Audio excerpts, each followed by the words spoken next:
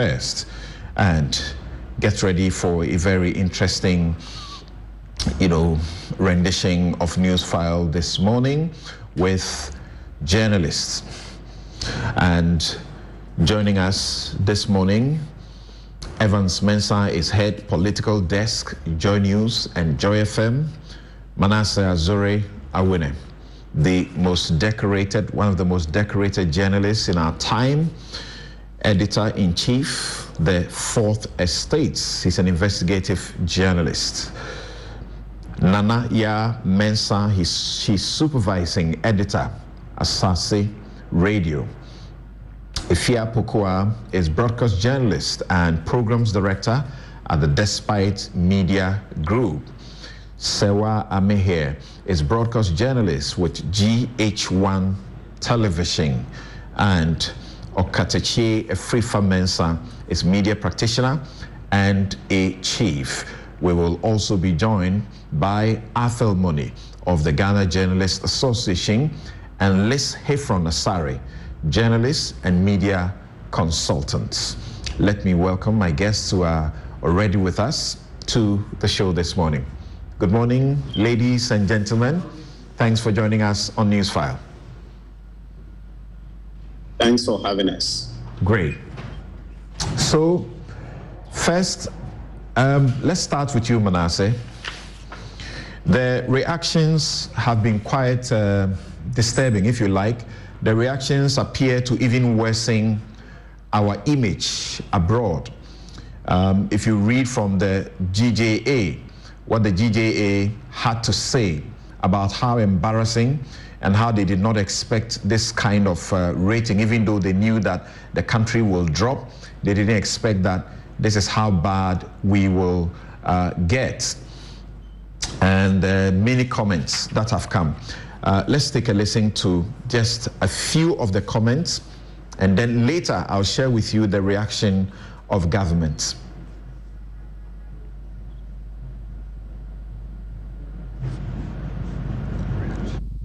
beginning when Media Foundation for West Africa was calling on government to deal with certain issues with regards journalists.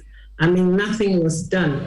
Unfortunately, the Ghana Journalists Association was also very silent.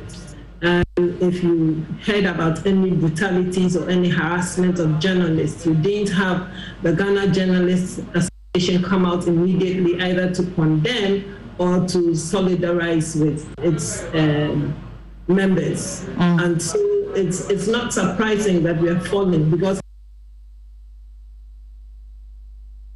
I think what is accounting for our significant drop is the political context. And that is what we really have to do a lot about. Mm. In terms of the other context, economic and so on, the impact is to a large extent on professionalism, and sustainability. If you look at countries like Sierra Leone, that has become um, 41st from 75. And last year, we issued a report in which we were commending the government of Julius Maada for improving the press freedom environment significantly. And not surprisingly, they moved from 75th to 41st ahead of Ghana. Are we saying that the economic situation in Sierra Leone is better than it is in Ghana? My answer would be no. If you look at Burkina Faso, Burkina, um, uh, Burkina is now 41, Sierra Leone 46, I should say. Burkina is 41. The economic conditions in Burkina far better than it is in Ghana. I would say no. Niger is ahead of Ghana. Ivory Coast is ahead of Ghana. Cape is ahead of Ghana. I don't think that these countries are ahead of us because their economic conditions are better than that of Ghana. Dialogue. The NPP tradition fought consistently for the recognition of the core democratic rights to governance in terms of association and movement, and in addition to uh, speech with successive constitutions preceding the Fourth Republic accepting and implementing these rights. We, the NPP, repealed the criminal libel law and rationalize the role of the NCA as a regulator par excellence. The real challenge now is balance. Recent reports, both internal and external, hyperbolically declaim, declaiming the supposed loss of media freedom in Ghana are painting and playing up a picture of systematic harassment against free speech. But is it truly the case? And does mainstream media and civil society experience that in their daily lives and activities? Moreover, is free speech limitless? And can it be mischievously used as an instrument to foster instability? These are key questions, objective answers to which can dampen the scurrilous damage to our hard earned political stability and potential growth in the name of regime change. The NPP believes Ghana media is the freest ever and that its contributions to media growth are unparalleled in the Fourth Republic. In sum, NPP decriminalized speech, supported infrastructure and training with the International Press Center and support funds, and improved spectrum allocation and regulatory oversight. Free speech will continue its healthy climb under successive NPP administrations. Secondly, another heading, a broken social contract. John Mahama woefully fails at painting an abysmal picture of democracy since 2017, insinuating a breach of NPP promises. So again, media and civil society should please let's fact check. The latest report speaks to, I mean, a reality for us as, as media practitioners. On the matter of safety, it's not lost on all of us the issues to do with journalists who have been arrested in the last one year. And also, even as far back as one of our own was uh, murdered in cold blood just in front of this house, Ahmed, uh, Ahmed Hussein Suale. I had, I had caused to write yesterday on Facebook very, very simply that the state of justice for Ahmed Hussein Suale reflects press freedom in Ghana. What I meant by that is, if for many, many years since his passing, we have still not been able to get justice, not for him being a member of our media fraternity, but for his family, for, for the wife, for the, for the child, for the entire uh, Suale family, as an indicator that, look, when a journalist is touched, when somebody is killed in cold blood, and the state has a responsibility to get to the bottom of it and find the perpetrator and have the person dealt with. It gives a strong signal for us as practicing journalists that when any of us is touched tomorrow, justice will be served.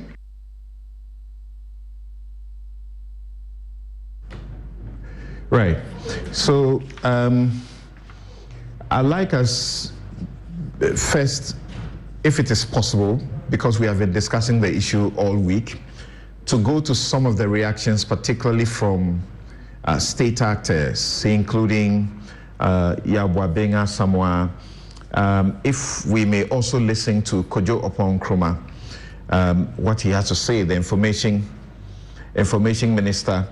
Um, okay, he issued a statement. We'll share portions of you for, for you, and some of you have already read uh, some of those statements already. Now, begin with you, uh, Manasseh. Um, if you could start by looking at what, for example, um, Yabwa suggests you are the freest media in the world. You have nothing to worry about. The things you're talking about are not objectively analyzed. As far as he's concerned, uh, this World Freedom Rankings, I mean, to be polite, is bogus. Well, Samson, if you had asked me this question six or seven years ago, I would have agreed with him. I attended conferences in the past, and when I spoke about the media freedom in Ghana, journalists from other countries often came to me and told me how lucky I was. Unfortunately, that is not the same. And I have been doing this work for at least 10 years. I started writing and critical pieces when President Kufuor was in power, I did a bit under President Mills, but most of my journalism has been under President Mahama and then President Akufo-Addo. And the difference is clearer than day and night. I'm saying this because of two things. Not only have we seen increased attacks but we are looking at the severity and also the actors involved. It was very common to threaten somebody and one would take it lightly. But if your colleague, investigative journalist, is put on television and threatened openly, and later that person is killed, you are going to treat threats seriously and differently. Also, we are beginning to see state actors that are getting involved.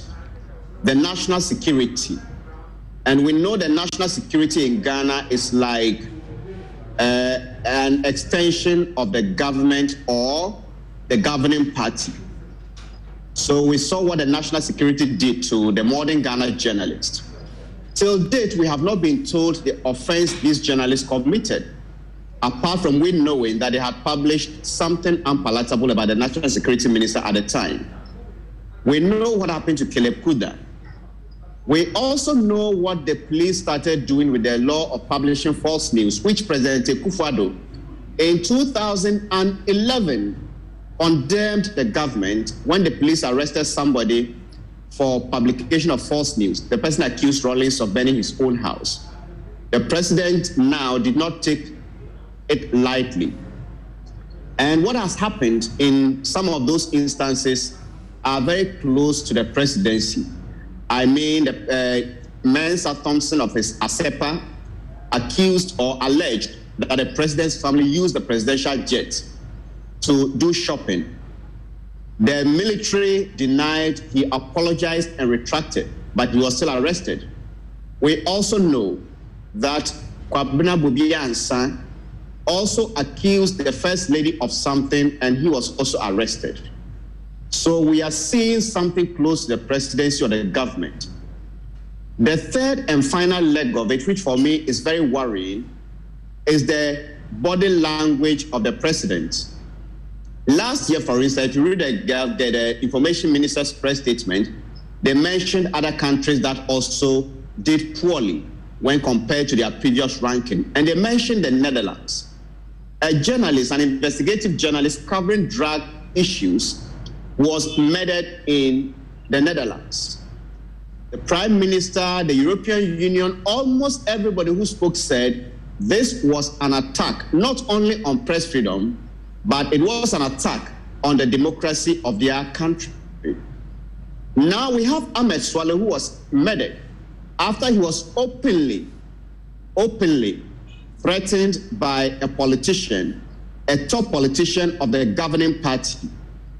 And we had the president of this country go to the bar conference in Takoradi and said, in as much as the death was unfortunate, it was equally unfortunate for people to say that his killing was linked to press freedom.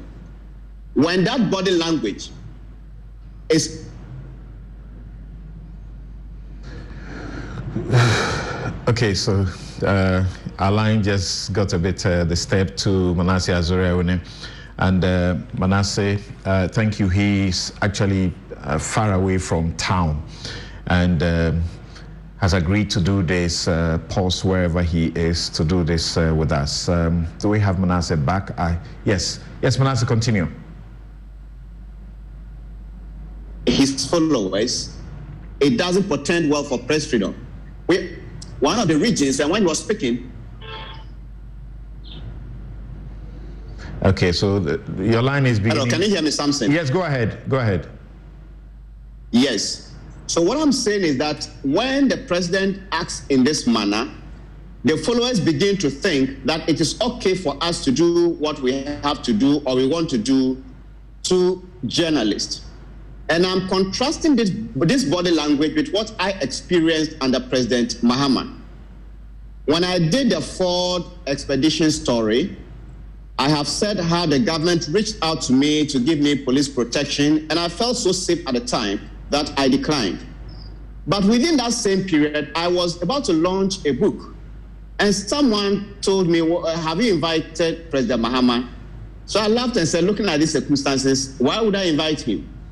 And the person said, John Mahama is tolerant to a fault. If you invite him, he would come. It couldn't come because that day I know there was that was the day the Montie three were jailed and there was some crunch meeting at the presidency. But the president sent somebody to represent him at my book launch in that critical moment and was the one who even bought the highest when the auction was done. What this body language meant was that if there was someone out there who wanted to attack me, the person would think twice that the John Mahama I'm fighting for is the same John Mahama at Manasseh's book launch. So there is no need to what? Attack. And so when I talk about the body language, I do not think that the current president we have has treated these comments so seriously, these attacks. They always almost try to defend and try to justify and try to make it appear as though there was no problem and only some journalists and civil society groups were making noise. To the extent that people like Sam Jonah, Sir Sam Jonah, even joined. And I thought they would take it seriously, but each time they told us there was no cause for alarm. And so what we have seen in the ranking is just a confirmation of what we've been talking about all along. Mm.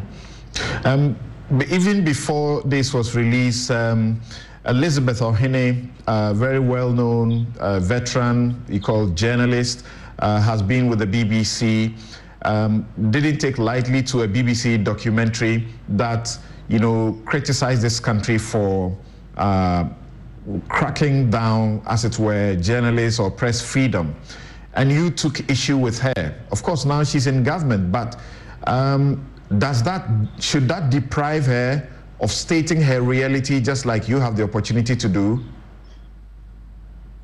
Well, I think it would be unfortunate if I say Elizabeth Ohene should lose her voice because she's in government. She has her voice and she's free to discuss whatever she wants to discuss.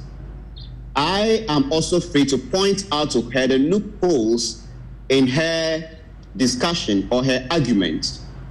When she pointed out to the BBC that the Media Foundation for West Africa is no longer uh, in a position to present unbiased opinion on this government, she did not back it with any fact. But we know that if you go to ministerial vetting, every data that is quoted on press freedom is researched by the Media Foundation for West Africa. On uh, in the sub-region, West Africa, there is no more noticeable voice, credible voice than the Media Foundation for West Africa. For years now that we have had issues with the uh, Ghana Journalists Association, but for the Media Foundation for West Africa, journalists wouldn't have had any voice to speak for them. So if you go to attack institutions without providing basis, then some of us are also willing to point the facts to you. Instead, the BBC should have spoken to entities like the National Media Commission. And what he failed to provide, she failed to provide by way of context, is that the National Media Commission is now headed by an appointee of the president, which a number of people have issues with. He also tried to make it look as if there are no issues and that the BBC shouldn't have spoken to people like Bobie Ansah because the kind of journalism Bobie Ansah is doing should have been taken into account.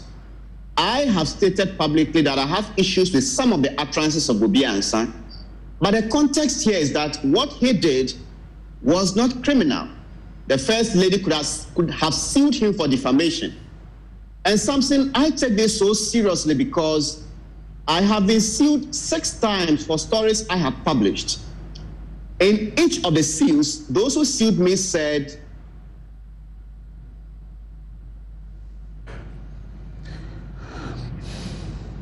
um, what I published was false.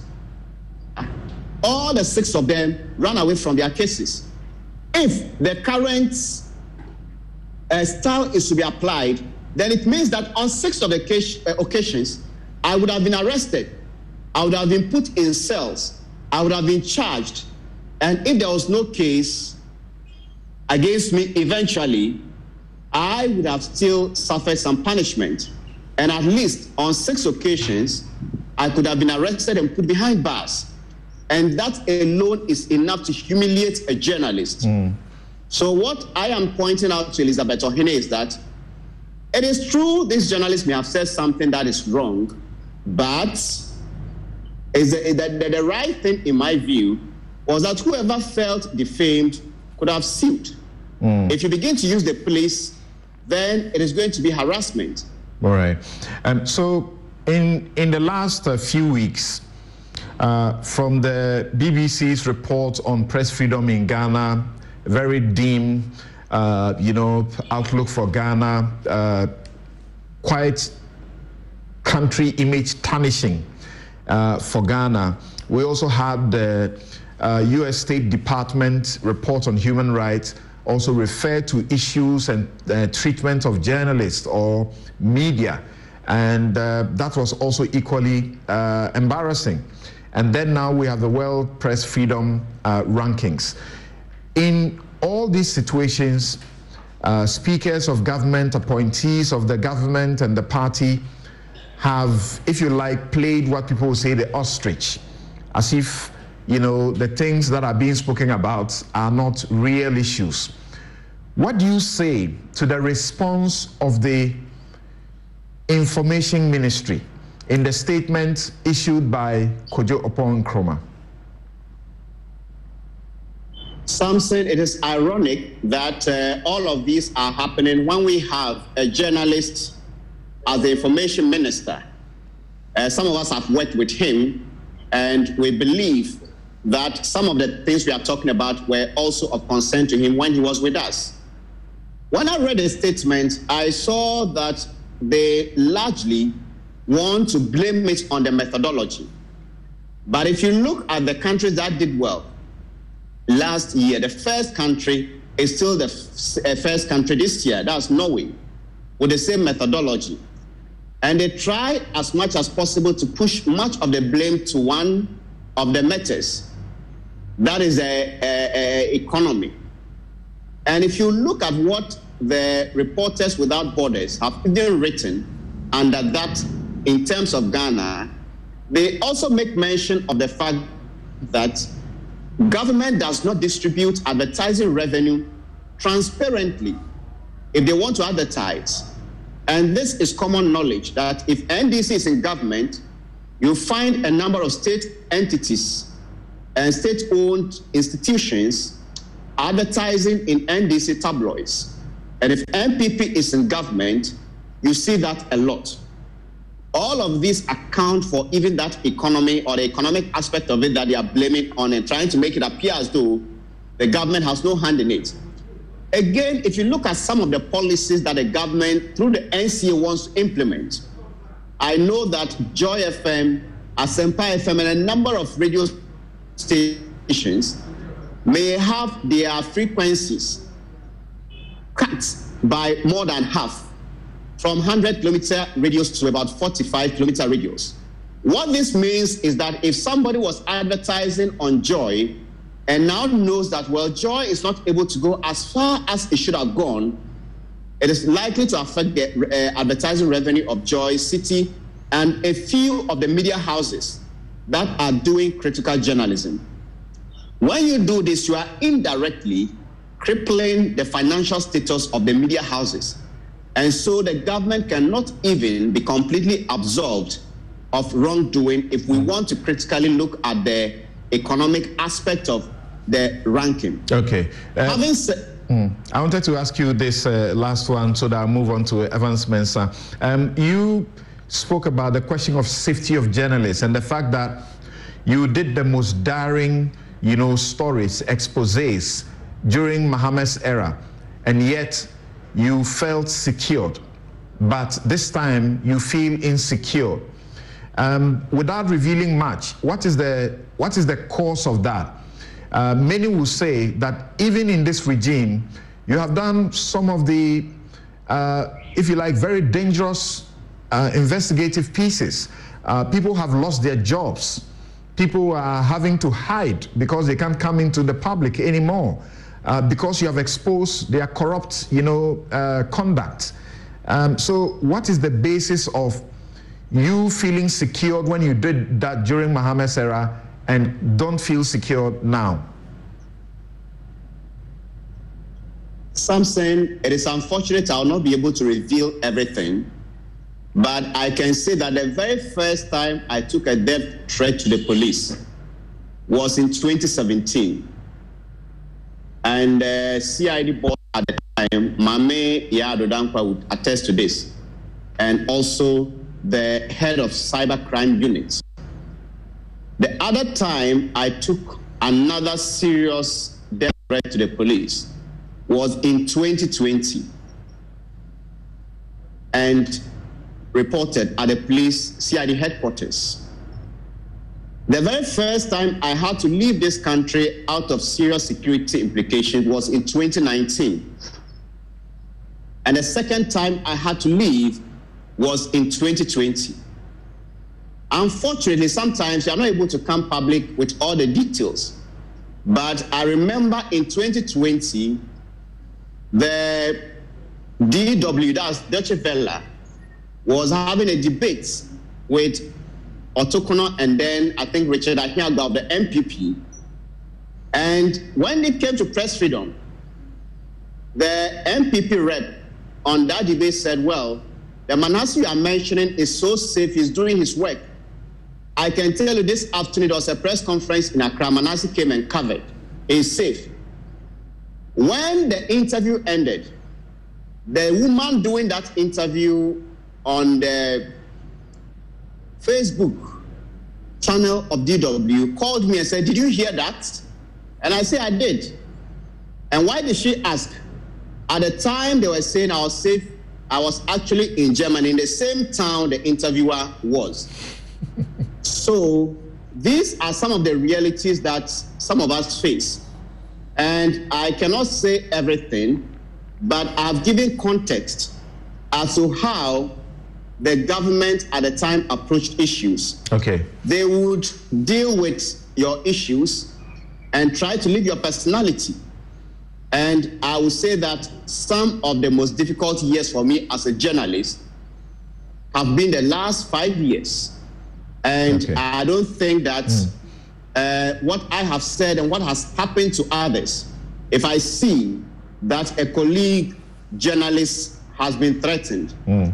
the next moment that journalist is killed, I'm not going to take press as I used to have them. Okay. Um, I, I, said that will be my last one, but in a minute, um, you know, it's a difficult interview to have with you uh, on the subject because uh, I'm your lawyer. so it's difficult to actually uh, also ask questions that may reveal certain things. Um, but you mentioned, for example, the Mahama Ford Gate, which the NDC believes contributed greatly to favor the NPP. The NPP used that weapon massively to favor them in their election victory and causing the NDC also to lose. Um, you speak about the fact that when you did that particular story, right after the broadcast, that you know day, you got a call from the communications minister then, um, Omane Boamah, asking assurance if you were safe and if you were not to ensure that there was security deployment to protect you and you declined because you felt safe. But before you made the publication, you were put in a most uncomfortable situation, including comments that came from the same place that you said, you know, are tolerant and you feel safe even after the publication. Is that not so? Yes, something. And those comments are very normal uh, with the kind of work I do. I don't expect the NDC. Manasseh, I'm not time. talking. I'm not talking. I, I started with a caveat because we can't say things in public. I'm not talking about public comments, comments that were not public but known to you, made to you yes. either directly or on phone. Yes, those comments were not threatening comments. So, for instance, I've written about part of it in the, my book, The Fourth John, so I can speak about it. Uh, the president's friend, who happens to be a mutual friend, met me and said he had not been directed by the president to tell me this, but they know that I was coming out with an investigation. And that if that story broke at that time, they had no chance in the uh, election. And their worry was that I was the one on the beat. If it were any other journalist, how much would they demand that they couldn't pay? But for me, they knew no amount of money would make me drop it. So, if possible, I should hold on till after the election. When that failed, there was this suggestion that they could give me some information about Akufo-Addo, who was also going somewhere to take money for his campaign, so that if I published those two together, they would also have something to say about the NPP. And I said no, that wasn't going to work. A tribal card was tossed, it didn't work. And I eventually went ahead and did a story. All right. These sources were not antagonistic. And I can tell you that even under this uh, uh, uh, government, there have been times very high ranking people talk to me to see if I could uh, uh, do something about a story when the promo started. And so this is very neat. Sorry, this is very normal okay. for somebody like me. But the difference is the kind of commentary, the mm. kind of message, the kind of threats All right. you receive. Mm. Manasseh, Manasseh, thank you very much. And uh, uh, ladies and gentlemen, please um, uh, pardon me because he's actually in transit. He's traveling and needed to stop and be able to uh, speak to us. And then perhaps in the course, we, if he gets to a stable area, we can reconnect with him when you are all having the conversation. Um, let me come to you, Evans. Now, um, what's your reality when you read um, this uh, report and you have engaged many people in the course of the week on this very, very, you know, battering, nation image battering uh, report for us? I want your reality. So, the report, for me, I, I took it um, in, in, in two different dimensions. So there's a third dimension, which is the, the broader view, and then there's a more specific view to it, where, where you look at the specific indicators that were measured, and then there's a broader view. Now, to the question, if you look at the broader view, where you look purely at the rankings where we are, we're at 60, that definitely doesn't tell a good story. If you drill down to some of the specifics that the um, World Press Freedom Index has touched on, one of the things that speaks to my reality is the political context. And this is something that the Reporters Without Borders themselves had articulated in explaining uh, some of the reasons why they ranked us at 60 in the world. They talk about the fact that to, to, to protect their jobs, and they're talking about journalists, their security, the journalist security in Ghana, they increasingly resort to self-censorship. And it is that that phrase, that, that self-censorship issue, that for me speaks to a current reality.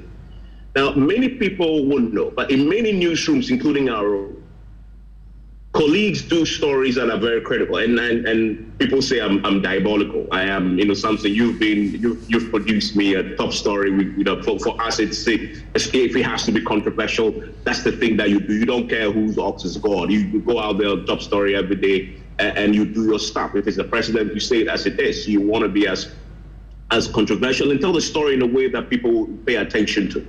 But that's journalism for you. So far as you're factual you, you are okay to do the story but in newsrooms now, you, you're doing a story, a story coming, you're simply passionate about you're going to do a story. The comments that you hear colleagues pass, and some of, sometimes it's done in jest, but if you drill down, it's actually coming from a place. They tell you, Charlie, they'll come for you, right? And, and in many newsrooms now, you see people say this on a daily basis, on a regular basis to you. We are self censoring and, and I've done this job for 18 years, so I know what I'm saying. You, we are self-censoring more now than we used to be.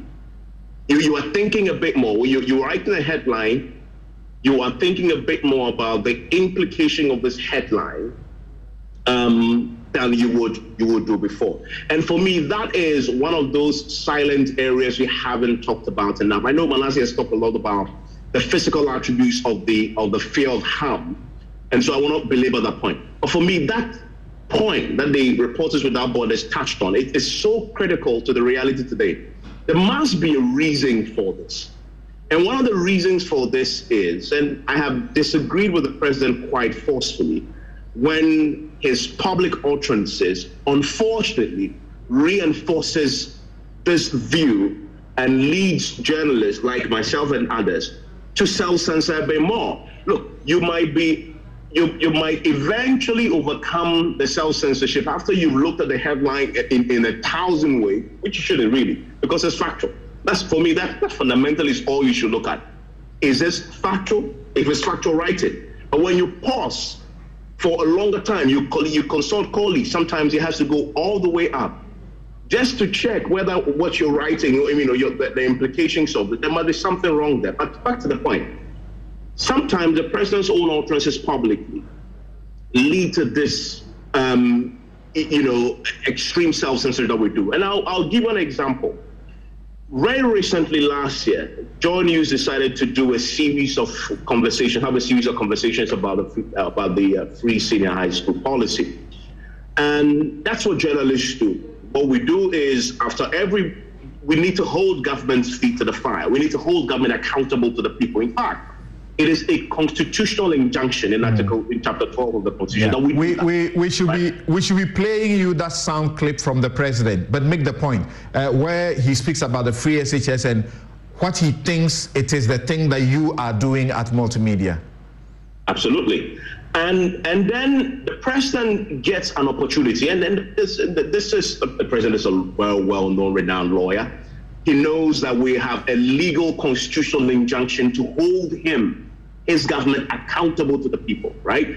If you've implemented a, a very um, fantastic policy as to the free SHS, you're spending possibly, well, not even possibly, the, the facts from the budget shows it one of the biggest line items in the budget in terms of government intervention policy is the free SHS. If you do that, you spend the taxpayers' resources to implement such a, a, a, a fantastic, uh, wide-ranging, very important, and, and my, and, and my uh, brother benefits from this, and we applaud the government for this. If you do that, though, you will need the, the citizens to sort of evaluate what you're doing.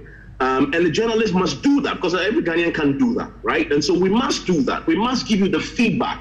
And we give microphones to people to do just that, a constitutional injunction. And then the president gets an opportunity to speak about this work that the journalist was doing. And this is what he says, quote, a radio station is currently running a campaign mm. hold against it. Hold it, hold it, hold it, hold it, Evans. Let's play. Let's hear the president's own voice on this subject.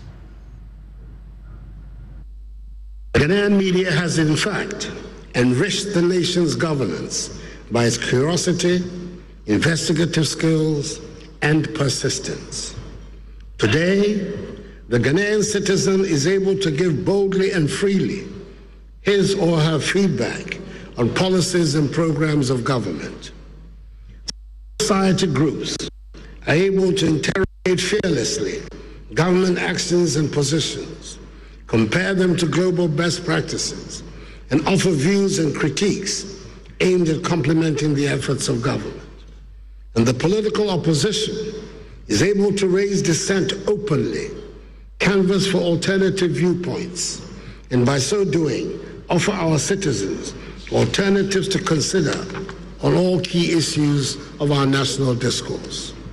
No wonder Ghana is, according to Reporters Without Borders, the number one country in Africa in the Global Press Freedom Index. So, what do I make of the current accusations that are being made? The freedoms are under attack under the Akufo-Addo government.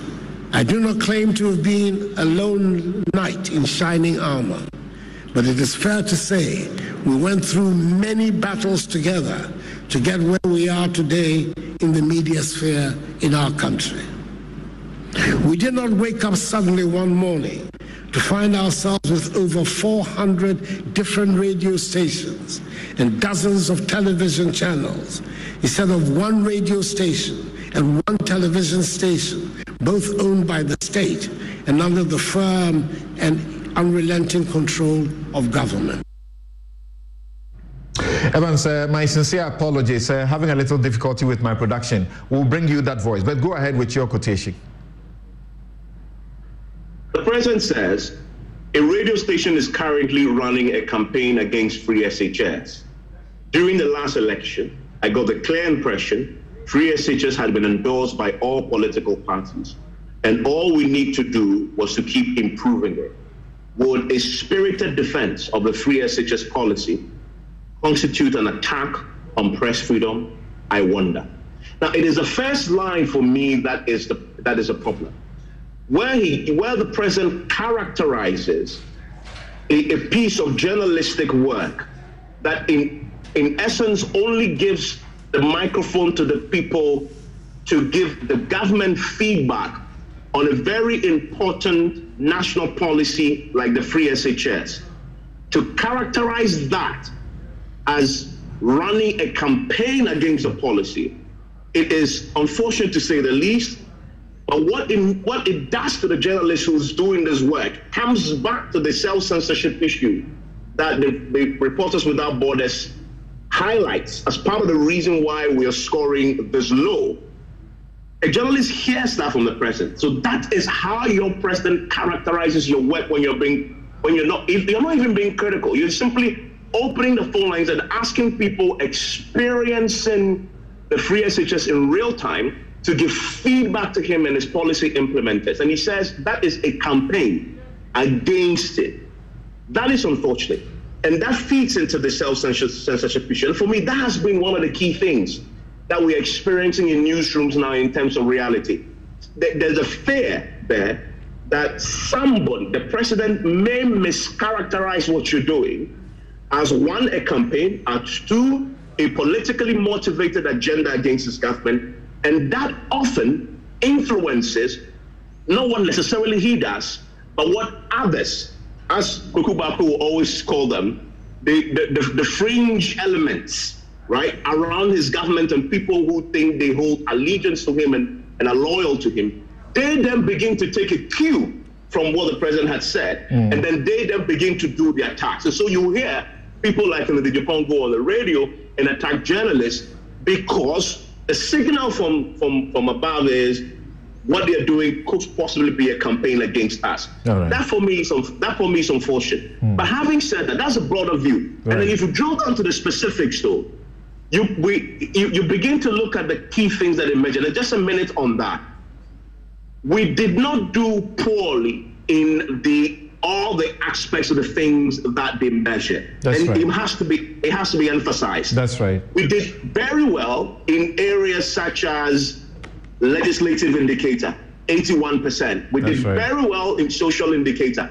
In fact, we didn't even do as poorly as the specifics suggest in the examples Manasseh and I are giving mm-hmm. when it comes to the political indicator, because the 66% there the poorest performance, and it's true. I mean, you can look at Kojo Oppong-Nkrumah's statement and say, Manasseh will say, well, you know, we want to draw attention to the economic indicator. But the fact is, the the the the, uh, uh the, uh, the Reporters Without Borders indicators and the expert panel measures this and say that is the poorest in 47%. So it is important that we look at that specific. And they give a caution.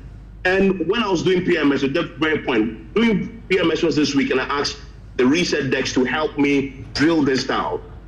They came back to me with a caution because we had done a a, um, a trend analysis of the of the um, right the, the, the index, and I was going on air to make the point that this is the index, this is the trend, and it came back to me and alerted me that we should look at some a document that had been published as part of this. And I see later that it was reflected in the Kojo Oppong-Nkrumah's statement. But it is important nonetheless if you do research and put this in context. They say that in light of this new methodology, care should be taken when comparing the 2022 rankings and scores with those of 2021. That's and right. for me, that is important to observe. But if you drill down, we come back to that later. Some of the specific um, things that it measures, then we can begin to address which particular areas should we be addressing in terms of the interventions going forward right. to improve this the next round? So we'll deal with the solutions. We are talking your reality and solutions. And uh, thank you very much. I know that you are also hard pressed for time, but uh, stay with us a little while longer. Um, let me go to um, Serwaa. Serwaa, me here. Serwaa, are you with us?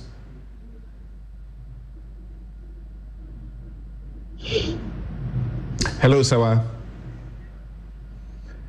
Um, hello, Serwaa. Please unmute.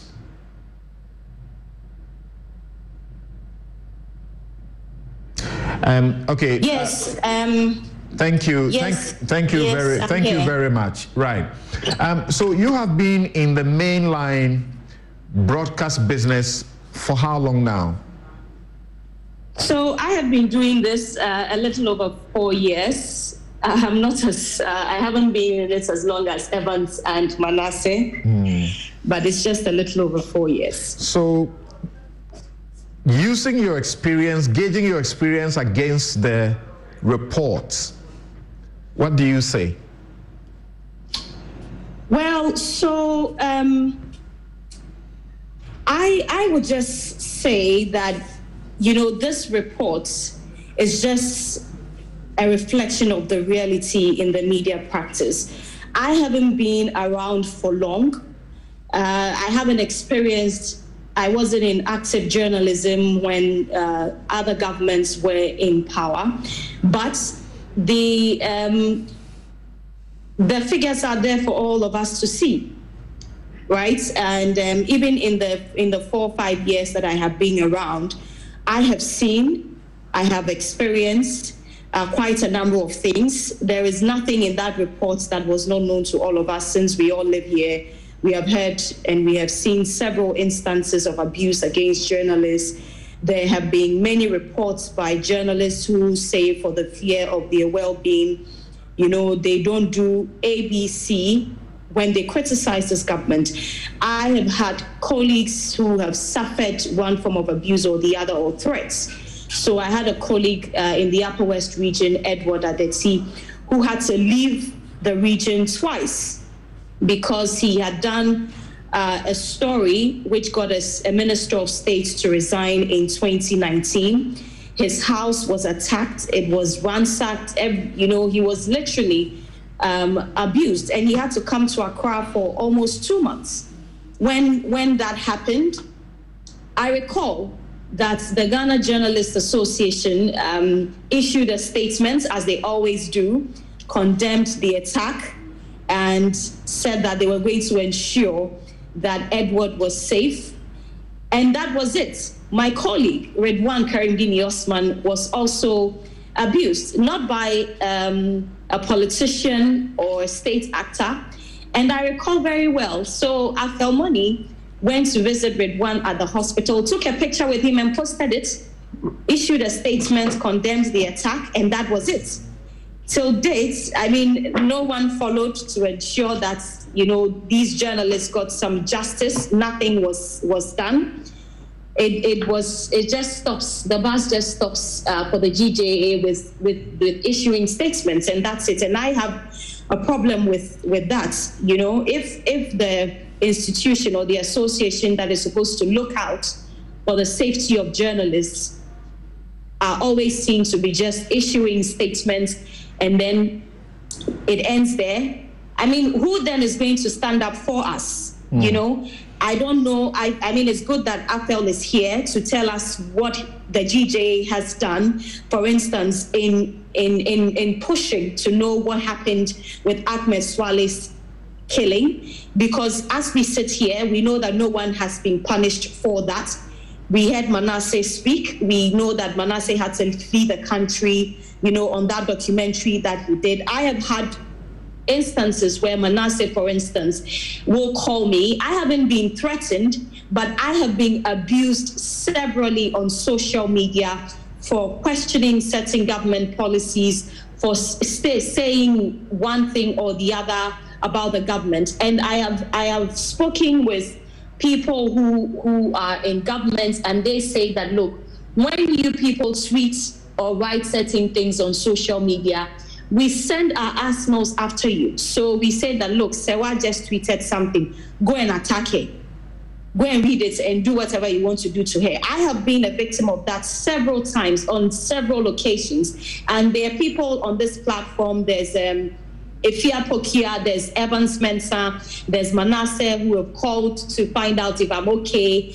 And there are people, you know, there are journalists who say that I won't tweet I won't do this because I cannot stand the criticism and the insults that comes with some of these posts. So I have suffered that. Now, I mean, while I appreciate, you know, Samson, the right of governments to rebuttal, I, I, believe that setting up social media trolls to personally attack journalists for being critical is not the way to go. So there was a time where the, the, there was a member of parliament who, on a social media page, was making a lot of noise um, about a bridge that he had he had constructed for his constituency. I saw it, and uh, you know, I said. I mean, this is this is something that these people deserve. It's not something that you need to rub it in our face like you've done something that hasn't been done before. That member of parliament's social media account personally attacked me, insulted me, you know, and you, like I said, I appreciate the right of governments to rebuttal. Mm. You, if it, we've scrutinized so, so what, what, what has been said, what has been said over time is that you journalists um, have opinions on almost everything, and you criticize as harshly as and violently as you can, but you cannot stand the same measure of criticism, and that should not be said to be stifling uh, press freedom. What do you say to that?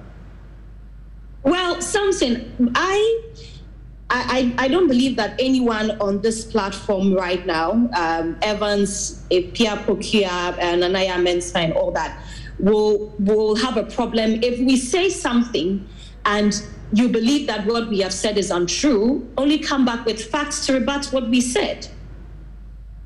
For instance, I mean, I listen to Evans every time. I listen to Afia Pokua. When they are making statements, they don't, they don't, they don't just come and sit on radio and just speak, speak.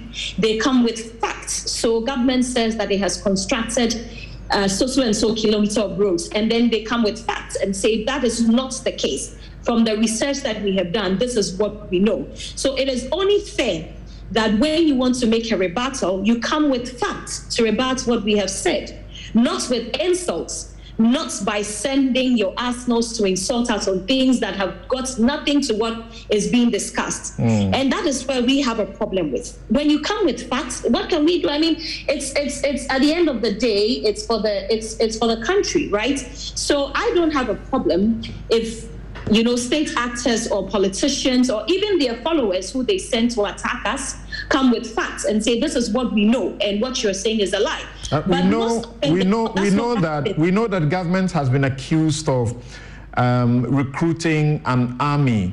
Uh, of people to do social media sort of, if you like, attack or uh, PR for it. But um, this claim has not been, as it were, uh, confirmed by government that in fact it has recruited such, you know, uh, people in their hundreds uh, we're told that the NDC had done a bit of that earlier, but the NPP appears to have um, uh, superseded and done quite a better job at employing in 400 and something of them or so who do this job.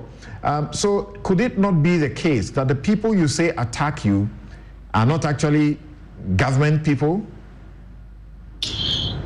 You know, um, Samson, I was saying earlier that I, I, I spoke with uh, someone who works at the presidency, and he told me, you know, and some other colleague of mine, in confidence, that we have people, and obviously we don't expect them to come out and say that, yes, we have put together these people. We don't expect them to, but they have told us that they have people, and we know some of the people and they also tell us that they have been recruited by some members in government to do some of these things for them. So they do it. I don't expect anyone to come out and accept or say that, yes, uh, we send these people or we know them.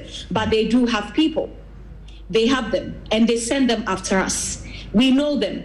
We know some of them. We have seen some of them and their tweets and the kind of positions that they hold in governments. So yes, we know them. We, do, we don't even need them to admit to us that they send them, but we know them. So this, in fact, is your reality when you gauge the report. Have you been to the place where you personally have to also self-censor because you are scared, you are uncertain of the of the reaction of your publication, however factual it is? Oh yes, I I, I have I've had um, a couple of those instances, uh, quite many of them actually. Um, you have to be careful.